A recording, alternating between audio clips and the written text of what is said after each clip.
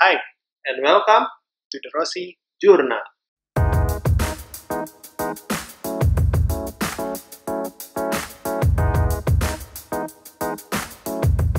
Pembatasan sosial berskala besar kini sudah mulai diterapkan di berbagai wilayah di Indonesia.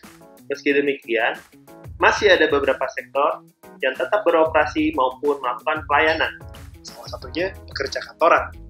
Kali ini, The Rossi Journal akan membahas tips bagaimana menerapkan pola hidup bersih dan sehat meski tetap ke kantor. Selamat menyaksikan.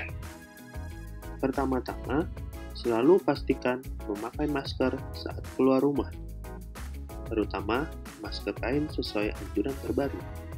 Lalu, utamakan masker medis untuk tenaga kesehatan. Pastikan Anda tidak memiliki gejala demam saat bekerja.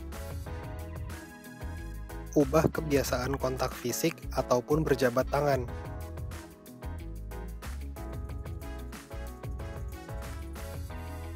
Dan juga ubah kebiasaan saat menggunakan lift menjadi seperti ini. Jangan lupa ditekan lantai tujuannya ya. Setelah bepergian dan ingin mulai bekerja, jangan lupa untuk melakukan cuci tangan.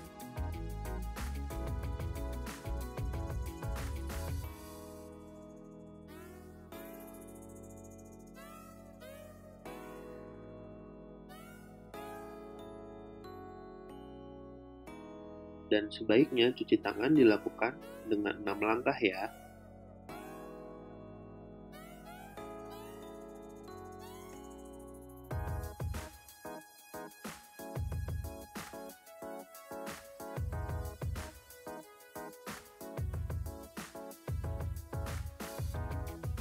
Hindari bekerja dengan jarak dekat.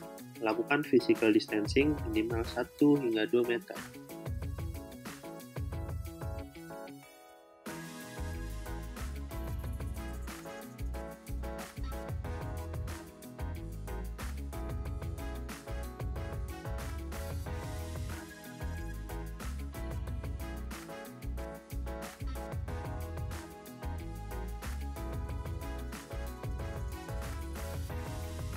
Apabila memiliki gejala, lakukan etika batuk dan bersin dengan menggunakan saku atau ditutup dengan menggunakan tisu.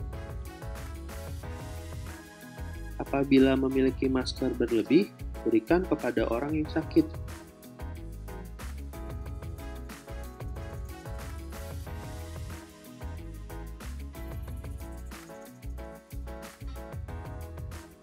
Lalu, buanglah tisu dan masker ke tempat sampah yang tertutup.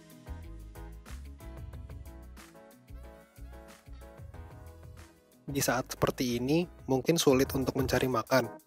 Namun jika terpaksa membeli secara online, lakukan disinfeksi secukupnya dan jangan lupa cuci tangan 6 langkah.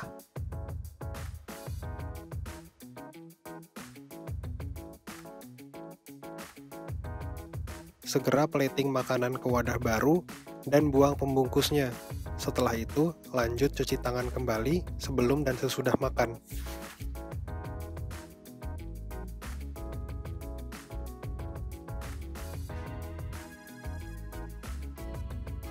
Usahakan mengurangi jumlah pekerja sejumlah 50%.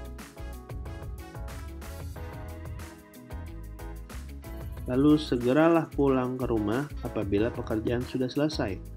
Istirahat yang cukup dan tetap jaga asupan gizi kalian.